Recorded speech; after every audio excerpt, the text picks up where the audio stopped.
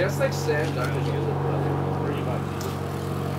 Yeah, you know, you know Rob, how you fucking trade shit like a retard.